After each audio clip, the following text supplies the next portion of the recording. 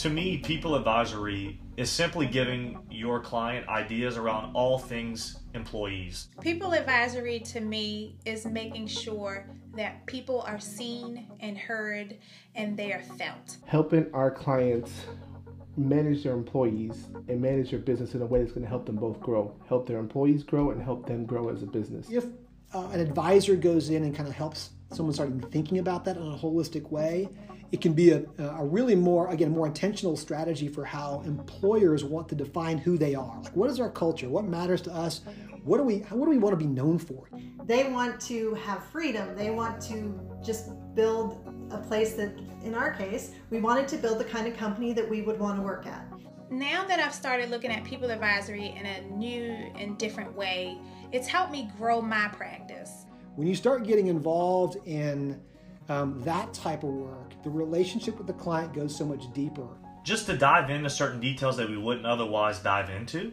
And so they're going to keep coming back and asking more questions. And I think what that naturally leads to is the more confidence we have as firm owners and in the firm, and the more skills we bring up, we're just going to naturally find more service offerings to deliver, right? We're not going to be, a, we're not still out there doing debits and credits the old way we were doing before as accounts. We've moved into lots of other practices. The impact that I make with my clients is making them feel like they have someone to talk to when it comes to helping them manage and grow their business. The thing you're offering to them is peace of mind that that their people are being taken care of, that it's being done properly, and that it's something that they might be able to take back off of their plate and have it done professionally.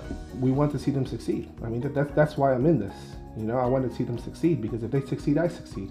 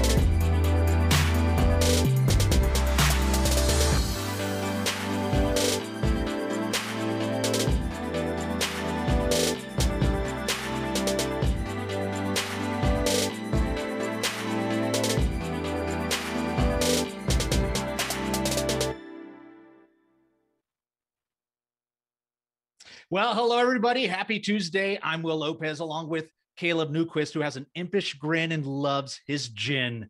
We're live working from home at Gusto, and you are on the margins.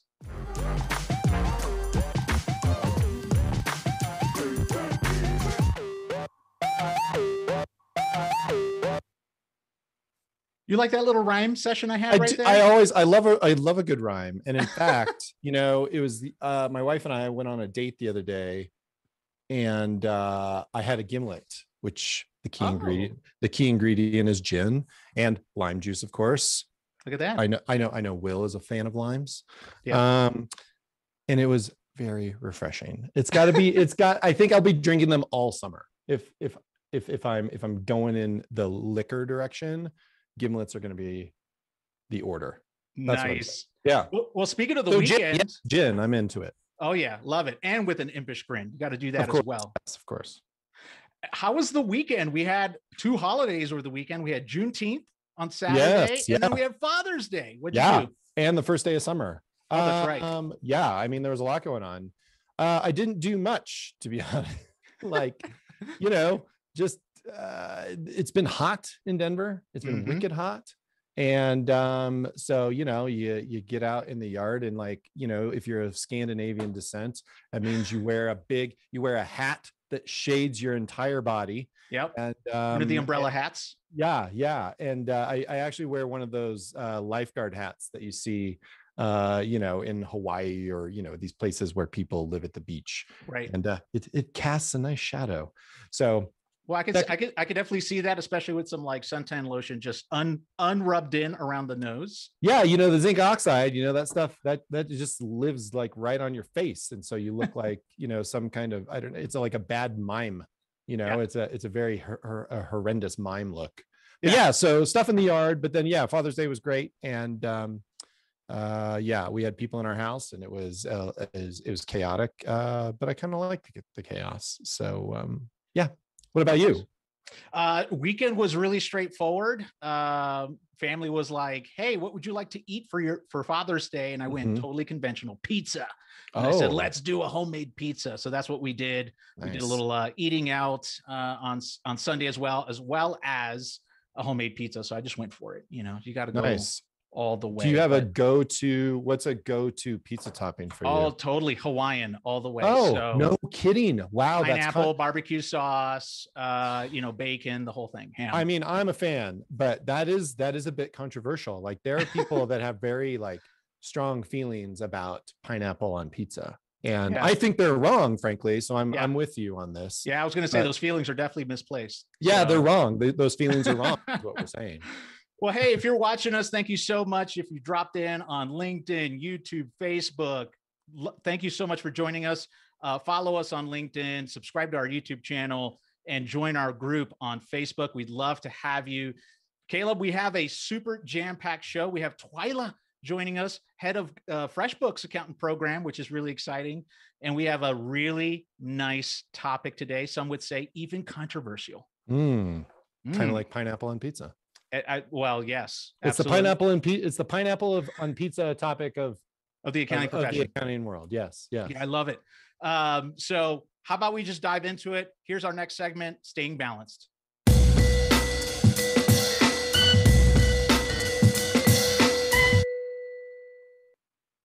Oh, I am excited for this segment, Caleb, because Yes. a little while ago, you wrote a really incredible piece through Gusto's blog on diversity and inclusion. Go on. And Inc- incredible, you say? it was incredible. It was extremely thoughtful and well thought out. And some people loved it and some people did not. Yeah, it was. It was. Yeah, uh, that is a. That is a. That is a. That is a. Is that a fair assessment? that's a fair assessment. That's totally fair. Yeah. So I wrote this uh, newsletter and the, the the email subject line, or the you can you can visit it on Gusto's website if you like, and we'll drop that in the in the comments of of the wherever you're watching this. But yeah, accounting uh, still on the diversity struggle bus, and um, this is um, you know since my going concern days, we've covered diversity and accounting's kind of failure at it. And you know there's there's no shortage of like reports and surveys and studies that have been done about this. And it's 2021 and uh the most recent uh the the response that i wrote or i was i was writing in response to uh this time a survey from uh cal cpa the cal the california society of cpas and the ima the institute uh, institute of management accountants. In this particular survey they surveyed 3000 uh, current former and current current and former accounting professionals and half then nearly half of all of these professionals uh, about 48% consider the profession to be equitable which is another way of saying more than half think it's not equitable. Okay? So that's kind of like the like the broad thing the, the kind of the broad headline is it's a it's it's 50 50 but then the other thing that i think that i found most um, surprising and i guess uh, worrying and concerning for account for the accounting world is that uh, 43 to 55% of female non-white and LGBTQIA respondents polled have left a US accounting firm due to a perceived lack of equitable treatment, with at least 30% of them leaving due to a perceived lack of inclusion. So, Mm. what was what I what the point I was trying to make in this newsletter, and I think I made it. Some people were reading something else, but I, I guess what is worrisome if you're if you care about the accounting world, and I know you do, Will Lopez, I but do. like this suggest what this survey suggests, what the findings suggest is that the accounting profession is repelling people, like sending basically sending people away. And it is because there is a perceived lack of equitable treatment or a perceived lack of an inclusion. And that, if you care about the accounting world, that should concern you. That's all I was trying to say. And some people did not take it that way. They took it a much different way. But I guess what I would say to you, Will Lopez, my lo- my my question to you is, does that concern you as someone who cares about the accounting world? Well, you know, I think this is a really interesting topic because it it it does concern me because our profession is is a long held profession. I think you and I talk about this. This is why even people advisories around, right? Yep. Where it's like, you know, this is a tried and true industry. This is a tried and true career. This is a tried and true profession, and we should make it accessible and available to all. And and we should not be discouraging others to not join it. And so and, and to top that all off, the, the the industry is on a brink of positive change. There's a talent gap shortage.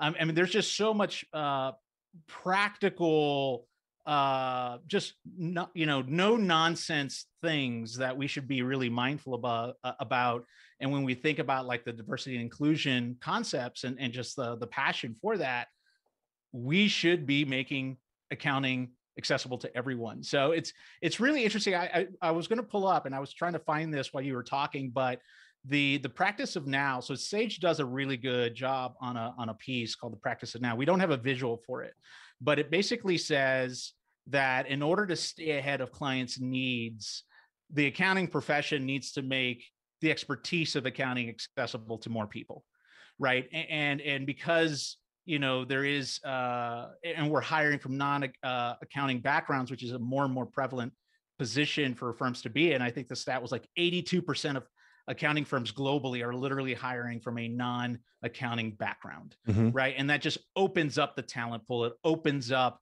uh, the the window and the doors for for diversity and inclusion to get talent that doesn't think like the norm right that doesn't think like uh, or just you know has different perspectives and and that's so important with uh, with a firm's team uh, and everything in between. So I uh, I'd love for you to speak to this because there was a stat you fetched from uh, the uh, from Accounting Today on the reasons professionals left a company due to diversity related issues. You you were slacking me this uh, this Accounting Today article. Yeah, and that's that's the one. Um, the the Accounting Today article is the one that I was citing. Um, the, the, they they wrote a pretty good piece on the uh, on the study, and they also had some nice visuals, which are up on on the screen now. But like, I think um, I can't read that; that's so small. But I can. that is, I think put, what put on the extra pair of glasses here. yeah, I know it. Um, but I think it's it's just striking that the experience that people are having is is, is that this is what people are still experiencing in the accounting profession right. and something that is um uh, some footnotes I, I don't i think it was this graph that you see here but like the the footnotes to this graph in the accounting today article said the data says the profession is underperforming in firms of diversity, equity, and- and inclusion for six reasons. Number one, diverse talent does not receive equitable access to the factors that contribute to career advancement. Two, bias persists throughout many stages of the employment employment process. Three, diverse talent is leaving employers and the profession at a faster rate than non-Hispanic white male uh, and non-LGBTQIA colleagues. Uh, four, a portion of the profession does not believe that any action toward DE and I improvement is needed. Five, DEI is not being treated as an issue that requires urgent attention. And six, a lack of accountability for DEI progress. All of that stuff is, which to say is, accounting is struggling. You can't deny it. Like the profession is struggling to, I don't think initially attract, if you look at like the AICP, AICPA trends report, attracting them is not the problem, right? Like half of all uh, enrollees in um, accounting programs are women um Mhm. half of the people i believe uh yeah in, uh, about 49% i've got I've, i i actually looked up the trends report last night. 49% of the bachelor's and master's enrollees are uh, enrollees are women and that 50 50 split goes back to at least 2006 so it's been this is the trend for about 15 years 51% of bachelor's and master's graduates are women. Again that trend goes back to at least 2006 uh, that was the most the, the the earliest data they had in the report. And 51% of the graduates hired by cpa firms are women. So the attraction is not it doesn't appear that the attraction bit is the problem. I think the profession has figured out a way to attract more women for or, and obviously we're talking about women today with twyla but like I think what is then concerning is if you look at the demographics in the very same AC, AICPA trends report, the demographics in US accounting firms 47% of all professional staff are women. Okay. 42% of the CPAs in firms are women, and 23% of partners are women. So you see something happening with the experience with women, but also also the other you know the the the, the non-white and lgbtqia you are seeing something occur in firms that is sending them outside the profession. And i think it is a it is it is to the it is the it's at it's the profession's loss that we do not have a more diverse uh, equitable and inclusive profession it is it is the it is the profession itself that will suffer over time. And i think having twyla on to talk about these things is going to be very very interesting. And um i you know it's it's it's something that everyone should be concerned about. And i am i am am surprised that people would well i'm not surprised frankly. I'm not surprised that people kind of misinterpreted what i was writing and kind of you know kind of had to get ugly about it but Yep. uh, you know it, really the bottom line is like for this profession to be successful long term it needs to be an inclusive profession and it needs to be a more equitable and diverse profession and if it isn't then it will continue to you know it will the, the questions about relevance that people keep asking and like those those kinds of questions about the cpa profession i think will continue to persist unless they unless it becomes a more uh inviting inclusive and equitable place Yeah, I mean, I couldn't I couldn't agree more. And uh, if, if you're watching on on LinkedIn, Facebook, YouTube, would love to hear your thoughts. Go ahead and comment. I'm watching right now. But to your point, Caleb, I think you know the so what has been the theme of the profession for about 20 years? A talent shortage, right? And so there's a talent shortage. There's also what's happening right now is the great reassessment right? The the the way work is being done the way work is being experienced is drastically going through the great reassessment. That's that's what 2021 is all about. And firms are are kind of hemming and hawing about the talent needed to meet client demands the talent needed to to meet the moment and offer new services. And yet if you need people and you're not inviting people in I just don't know how those two things line up, right?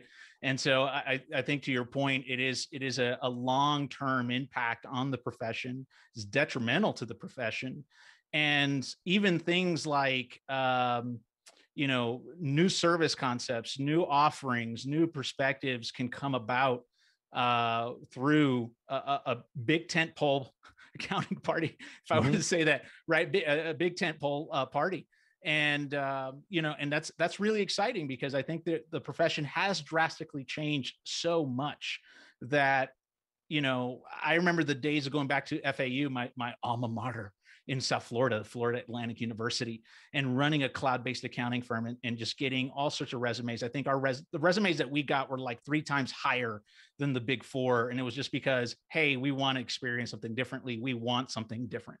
So i think it's just a great opportunity to just you know do do what's right and uh and then obviously meet the moment when it comes to uh you know uh bringing more te- more people onto your team. Right. And then just reap reap the business rewards of that. Like i mean it's it you know it it isn't a secret that more diverse organizations perform better.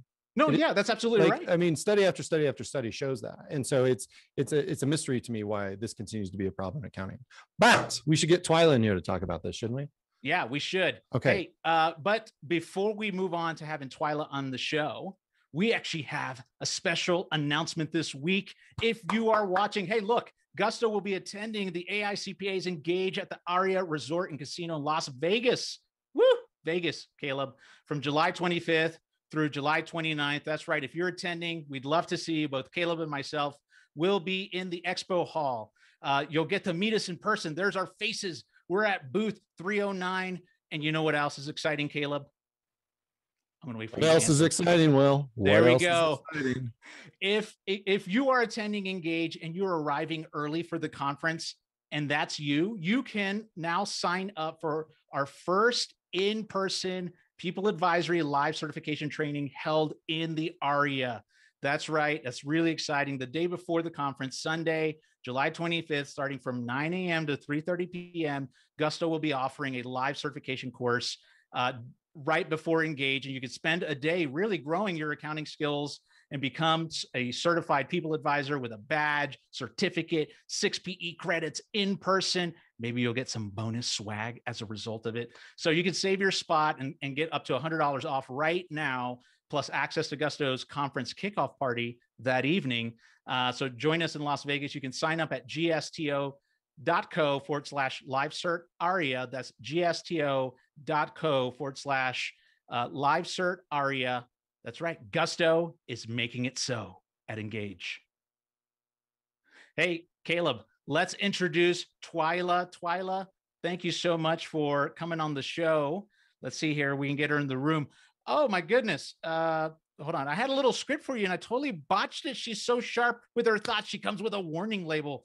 Uh, Twyla is the head of accountants at FreshBooks, has a recurring show on Clubhouse on women in accounting, recently launched womeninaccounting.com. Visit it, by the way.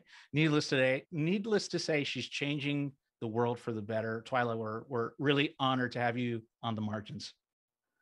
Thanks so much, Will, and thanks for having me here, Caleb and Will. And I will start out by saying, I is there any other pizza ingredient than pineapple? Like, it's not a real pizza. There isn't pineapple on that pizza, Wow. and so I yeah, many many people don't know that. that. That's why that's why you're on the show is because you you just agreed that pineapple should be an ingredient on the pizza. So that was part of the vetting process. If you want to right. be on this show, you have to agree to pineapple being a key ingredient of all pizzas. So I, I'd love to hear from you. Like, how did you land at FreshBooks? And then, and then we'd love to turn the conversation into your thoughts and perspectives about diversity and inclusion, women in accounting, people of color in accounting, um, and all of the above. But I, I know prior to to FreshBooks, you had your own accounting practice. Uh, you were at Helm as well, which is like a financial forecasting or, or business intelligence app. But yeah, tell tell us, you know, how'd you get to where you're at right now? Well, you you gave the short version right there in terms of my part of my career progression, or at least the last call it 10 years of my career. I am a CPA. I'm definitely not a, a traditional CPA. I'm very much what I'd call a modern or a new age or whatever we want to tech focused type CPA. And I did have an accounting and advisory practice with a business partner of mine. And then out of that advisory practice, we started a cash flow forecasting tool called Helm. And that came as solving a pain point for our own clients as we were delivering advisory. And then I was in touch with FreshBooks. To be honest, we were talking about does it make sense to integrate Helm? And, and we were having conversations that way. And that's when I learned that they were starting a new accountant channel and creating a, wanting to create a brand new uh, accounting partner program. And it caught my attention because over those few years when I was inside of the firm and then uh, working it with Helm and, and the industry as we did a lot of beta testing and a lot of working with other accounting professionals, I really start to be started to be connected with other industry professionals and I got really inspired by the work that we had done and how that could be helpful to others in the industry. We were really fortunate that we started doing advisory before it was called advisory. My very first accounting job was inside of an advisory type firm back in 1999. So this is very natural a very natural transition for me to do advisory and understand advisory. And as I started to work with more and more accounting professionals, I realized it's something that we're trying to learn as a profession at large and change up the services and and uh, really kind of do accounting a different way as you said earlier will and i was able to then give some of that back so when i spoke with freshbooks and learned about what they're up to i realized that was an opportunity for me to extend the reach further part of my passion is around using technology inside of your firm to create that human advisory experience and working with FreshBooks and being part of FreshBooks, a global technology platform, was that opportunity to create something different, create something that's unique, but yet still um, contributes to this evolution that we have right now inside of our industry. Mm-hmm. Yeah, and, and I think you know with that passion, you know you, have you've, you've launched a, a few things uh, that a lot of women in accounting have been able to participate in, which is the the clubhouse um, discussions that you've had, and even the website. I mean, uh, or the program with the website. Actually, I, I, I when you announced it, I found out a little bit more about it. Uh, but what do you try to tackle on Clubhouse specifically? Yeah, so the clubhouse really was honestly a, a, Friday night kind of a what is this clubhouse? I'm going to check it out. And I kicked off some conversations, and it just really evolved organically based off of myself as a woman in accounting, speaking to other women in accounting, and what I saw Clubhouse providing in terms of a platform to showcase other women in our industry when I started on a journey back a few years ago and, and did something called the video per day experiment, which I know Will at one point you participated in, and yep, we, had, we, had, a big group of people that would were participating in, in the video per day experiment. That came from a panel conversation I was on on International Women's Day, where we were talking about women having a seat at the table and how we need to speak up and give women the mic. And when I ended that conversation, I was like, okay, I can't just have an hour long conversation and not do anything what am I going to do from here? And it started with me doing that video per day experiment and getting more comfortable and confident my, myself in front of the mic or in front of the camera. And then it evolved to being a community of others who wanted to do the same. So when it came to Clubhouse, I realized this was such a, a thoughtful process to that was easy, to be honest. It was easy to create a stage inside of Clubhouse that was because there's no cameras on Clubhouse, right. but still gave women an opportunity to be spotlighted, to be showcased, and to perhaps take the mic for the very first time. And so that's what the Women in Accounting Speaker Series is is all about is identifying a woman in our industry who you may or may not know and maybe you know them but you just don't know their personal human story and it's it's bringing them to the mic and letting them share inside of that hour letting other women ask that woman questions because there's so much we can get from one another and and understanding one another's journeys and clubhouse was just such an easy organic platform to do that on. So twyla i, I want to ask what do you think I, I rattled off all kinds of statistics in the prior segment but i'm just curious just your personal experience based on your personal experience and your uh, and and your experience talking to other women about this like what seems to be the main obstacle in your mind that is holding back progress in this area?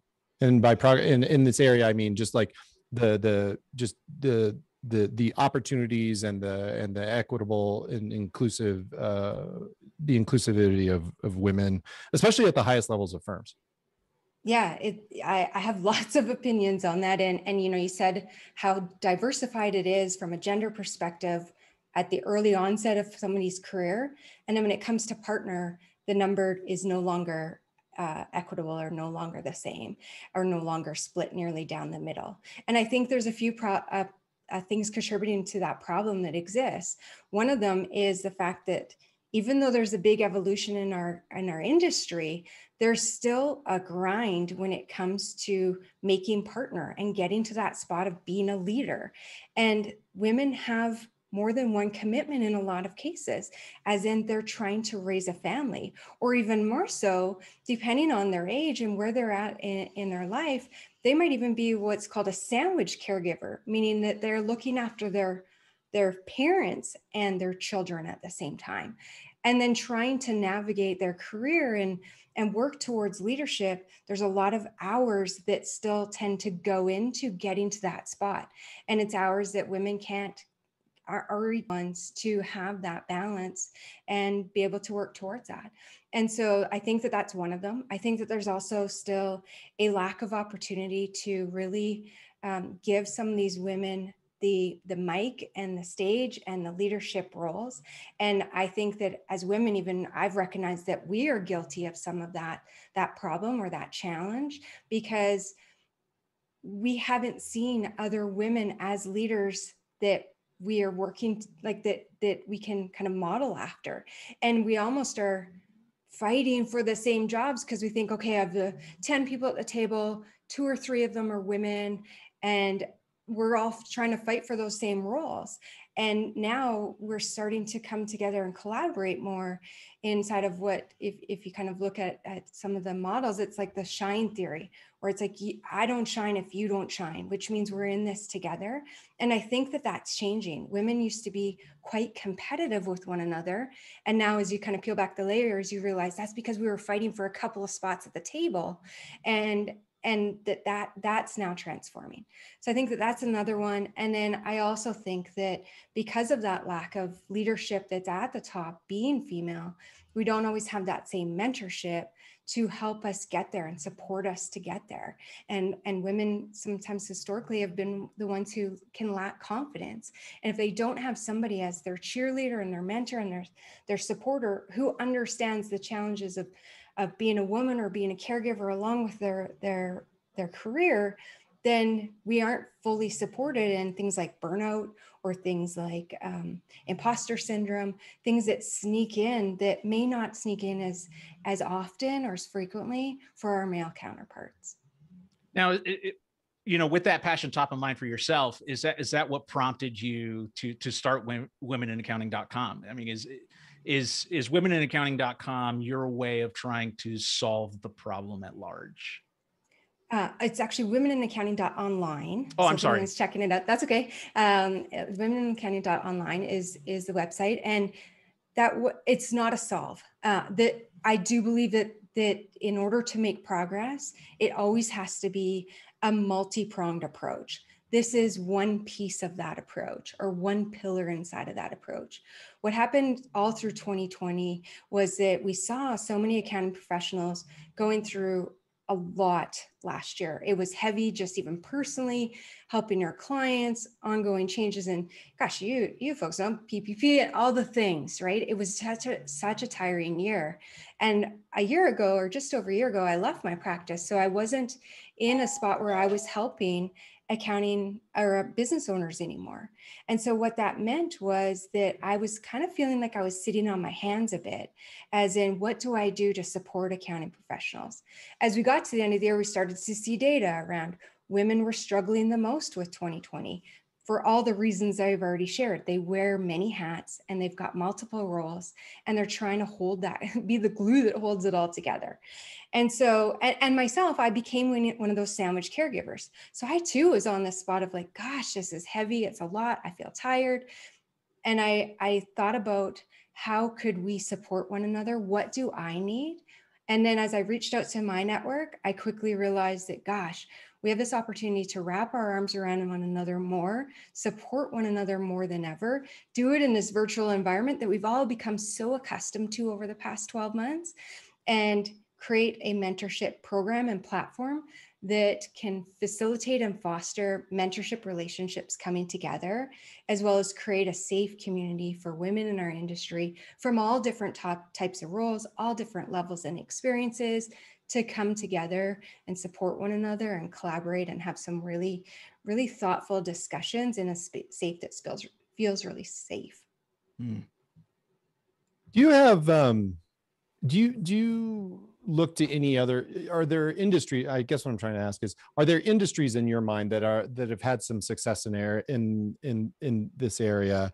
And are there things that the accounting world can learn from those? Do you have any examples of those?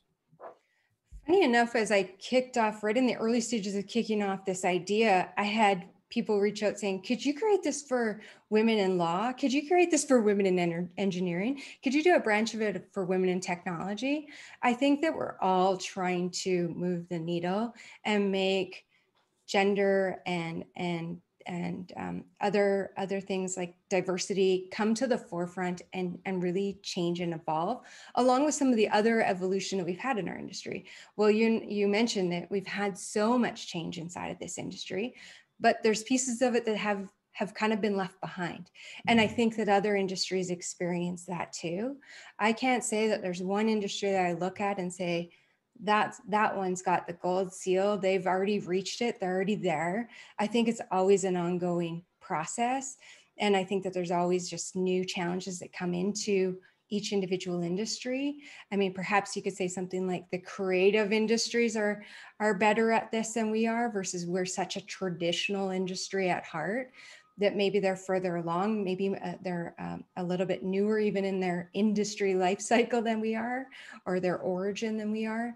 But there isn't one that I say that I can say that I model anything after when it comes to gender diversity.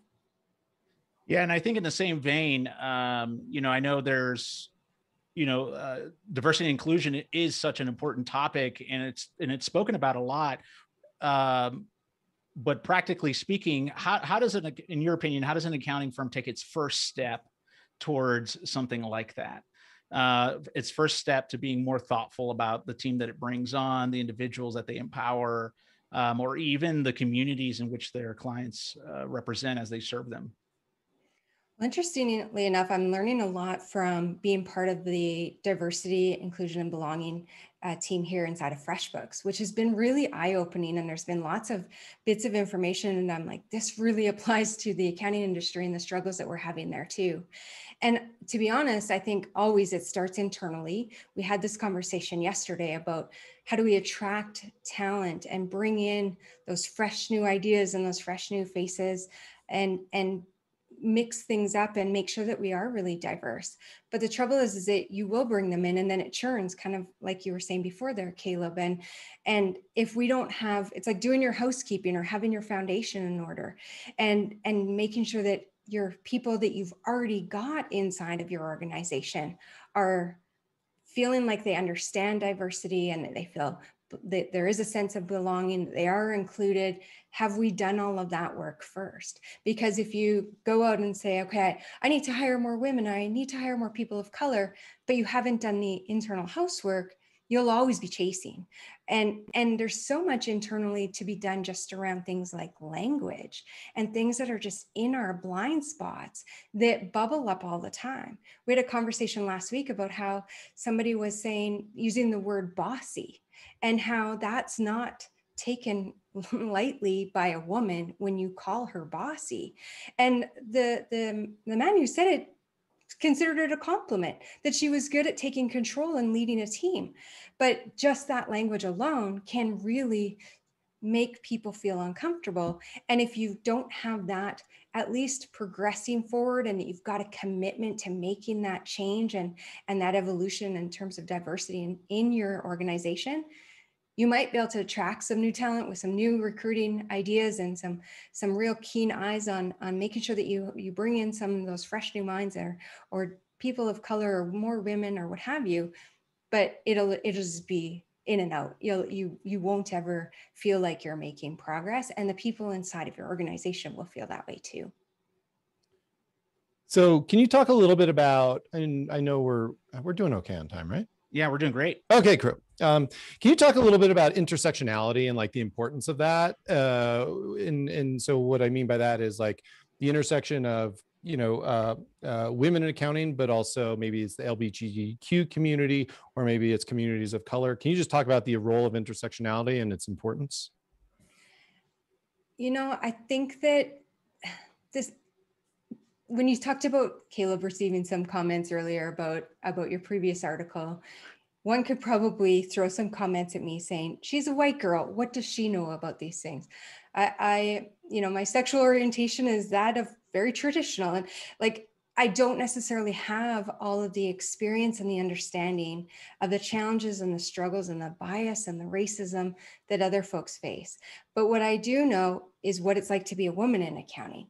And at least I can start there and then grow my knowledge and start to, in some cases, even apply what I've learned from really going in deep with understanding gender diversity and how a lot of that actually applies to some of these other like race and, and sexual orientation and religion and, and obviously runs deeper and, and can be much, in a much more hurtful way but there's so much that you can learn from at least starting with yourself and anything that you felt before. Even something as simple as my husband was telling me he's six foot two and he never thinks about where he's going to go for a run.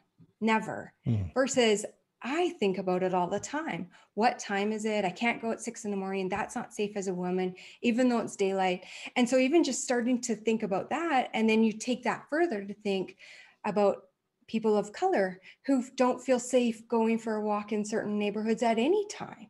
And so there's there's so much that we can learn from one another that it's not just about this pillar, this pillar, this pillar, or this this kind of group of people, this group of people, there's a lot of commonality. It's that theory of we're more alike than we are different. And we just need to peel back the layers to get to that spot and then see how it applies to all of these different groups of people and then how we can come together to make it better. So I have a question for you. I, I know you and I have uh, talked about this quite a bit because not only is there a um, there is a inclusion, diversity and inclusion struggle bus going on within the profession. Uh, even things like people advisory, which was actually built out of the out of like a an inclusive mindset that say, hey, you know, as accounting professionals, we're just giving advice to the owners and we're not thinking about the team members when we're doing that.